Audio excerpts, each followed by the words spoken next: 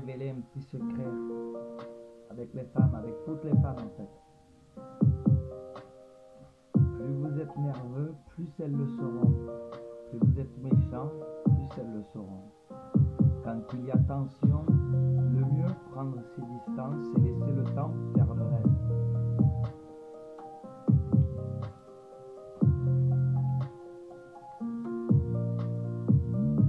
Il y a un moyen très simple C'est le matin si elle se lève avec le sourire et la bonne humeur. Alors là et seulement là, rattrape le coup de la veille et fais ton travail conjugal.